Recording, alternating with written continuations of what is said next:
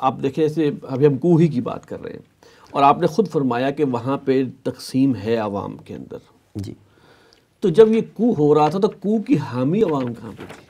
हाँ ये बड़ा एक इंपॉर्टेंट क्वेश्चन बहुत अहम बात है कि हम अगर ये समझ लें कि चले जी 51 परसेंट उर्दुवान के फॉलोअर्स हैं और 14 है तो वो 49 परसेंट कहाँ पे थे? वो भी तो कुछ कामयाब कर सकते थे जी जी असल में ऐसा था कि उन्हें पता नहीं उनका ये मेरा ख्याल है उनका ख्याल था कि आर्मी जो है वो अपना काम पूरा कर लेगी। जब आर्मी वो टैंकों- से बैठे आर्मी टैंकों के साथ मैदान में आ गई अब किसने आना है आगे? एक बात तो ये थी।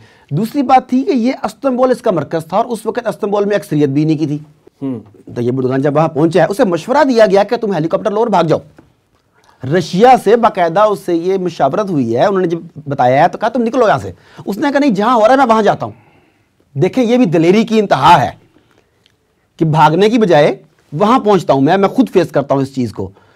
तो वो नतीजा हम सबके सामने है उसके बाद। और जैसा कि अभी इन्होंने बताया कि जो उसकी डिवीज़न हो गई आर्मी की ये बहुत बड़ी कामयाबी है कि उसने जहन साजी कर दी उनकी कि हमने किसके लिए काम करना है बनाए किस लिए गए थे हम कर किस लिए रहे हैं। और अब देखिए कि तुर्की इस वक्त आर्मी के साथ जो काम करना है सो करना है वो सॉफ्ट इमेजेस के लिए क्या कर रहे हैं जो हाँ, उसके ये ड्रामे बहुत अहम बात है। हम में से अक्सर लोगों ने आपने भी मुझे बताया दफ्तर में एक ज़बरदस्त किस्म की चाय पिलाते हुए कि हमने ये पहला तंजीम इस्लामी ने ये शुरू किया है कैमरे के साथ काम करना। और मज़े की बात है कि मैं ये गुज्त वन डेकेड से कह रहा हूँ कि ये जंग माइक कैमरे और स्क्रीन की जंग है जिसमें हम लोग हार रहे हैं। खुदारा निकलो खुदारा निकलो खुदारा निकलो। तो ये बुर्दगान ने इस बात को समझ लिया। उन लोगों ने देखे एक ड्रामे ने बासठ मुल्कों को दुनिया के सहार में ले लिया पाबंदी लग गई। कि इस मुल्क में ये ड्रामा नहीं चले इसमें ना चले। इंडिया के अदाकारों ने उसकी डबिंग करने से इनकार कर दिया।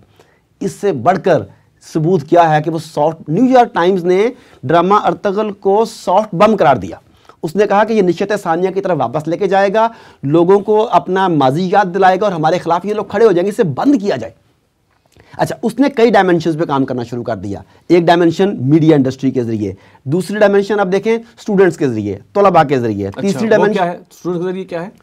अच्छा मैं आपको थोड़ा सा अगर तफसील थोड़ा और पीछे बता देता हूँ आपको।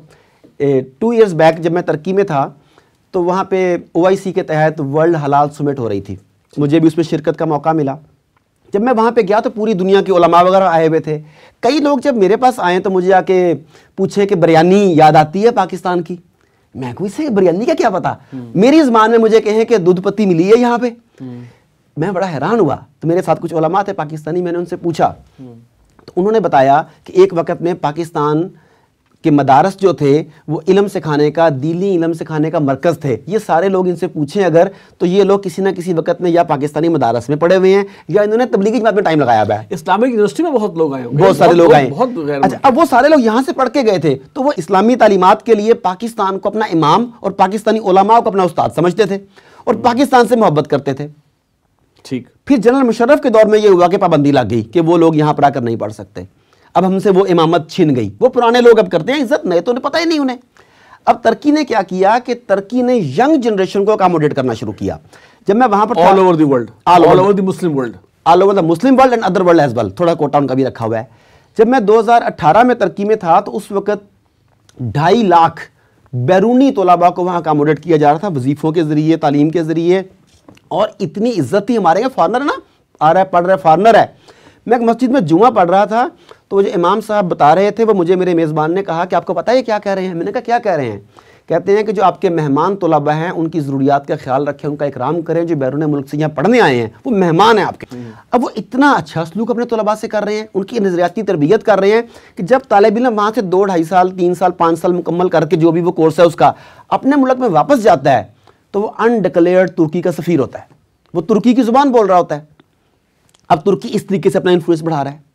तुर्की की आर्मी देखें, उसकी ट्रेनिंग मशकें देखें, वो बहुत शानदार हैं। तुर्की ने डिफेंस माहे किए हैं रशिया के साथ